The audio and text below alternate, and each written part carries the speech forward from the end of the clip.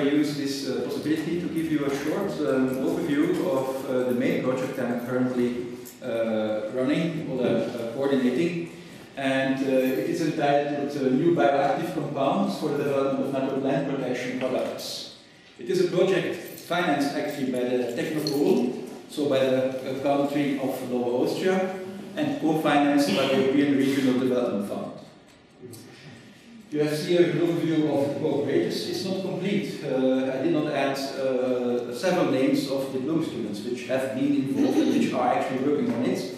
Very important is, however, that it is actually a cooperation, I would say a school example of a cooperation between different departments, sorry, between different institutes um, in our department. So, as well plant production, also the Environment Biotechnology Institute and the Center for Analytical Chemistry are involved. What is the problem? Well, uh, Herman told already that we are focusing in the, in the Institute of Biotechnology and Plant Production mainly on fusarium. And we have a big problem, not only in Austria, but also worldwide. We are focusing on a fungal disease, as you can here see some symptoms. Um, the main problem of this disease, caused mainly by Fusarium is the, produ the production of mycotoxins. And you have an example here, deoxynivalenol. It belongs to trichothecenes.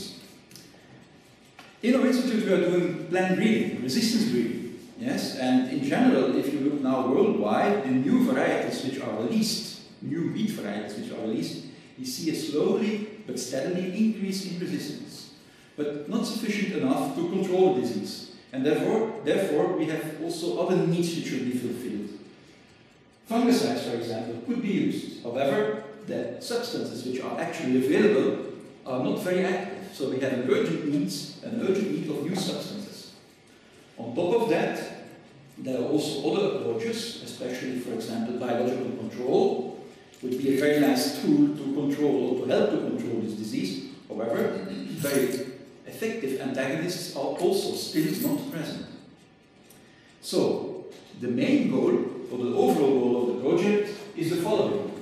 We want to identify microorganisms or new bioactive substances which we isolate, which we want to purify, and also to characterize, and also to apply. To do what? We want, of course, to block growth of our pathogen, to block germination of the conidia produced of our pathogen. We also want to inhibit, if possible, the mycotoxin production by the pathogen, and last but not least, we are also pretty much concentrating on inducing the natural plant defense mechanisms in our host, in wheat, especially in this In order to do this, and this uh, is my one that last overhead, I have illustrated to you here in short the project outline which we are following. If you want to uh, isolate antagonists, microorganisms, either bacteria, or fungi, or um, uh, yeast, for example, you have to isolate them. And we isolate them, for example, from soil or compost, but also from natural habitats. For example, from anthers of wheat, but also, for example, of silks, from silks of maize, which is a very good source for uh, antagonists as such. We use, however, also plants we are also searching for active substances in plants, especially in resistant wheat varieties, which are resistant towards the pathogen as such. If we have the microorganisms, we can isolate them, we can cultivate them, and we can produce extracts from the culture.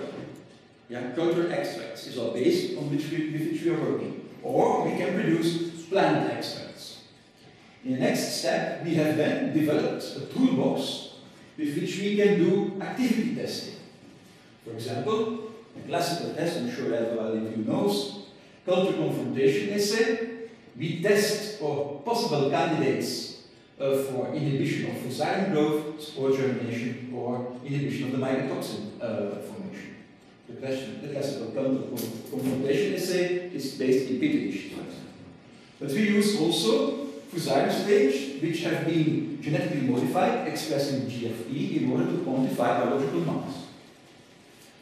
Induction of enhancement of plant resistance is done in the greenhouse. We have also developed these tools And the very specific tool which we are using is to look for uh, bioactive compounds which are damaging biological uh, membranes. So we use this with the so-called patch, Tachkine technique. Now, starting from extracts from the culture of microorganisms or extracts from the plants, we can then continue. For example, one additional step in the purification of these compounds is uh, pre-cleaning. Uh, we can use a solid phase extraction, which is established.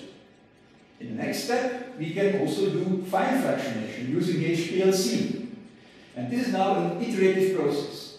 The, the fractions which have been cleaned up, or the fine fractions which have been produced, are then again tested for activity. In my last overhead, I have then the final three steps. The next important step is then the identification of the, of the microorganisms. Bacteria are identified using PCR techniques. Fungi are used or identified using morphological characteristics. And the biochemical compounds, we try to identify, identify them using LCMS or LCNMR. For experiments, we need biomass. This is fermented. The antagonists are fermented in the Environmental Biotechnology Institute, or we use HPLC to uh, purify a compound of interest.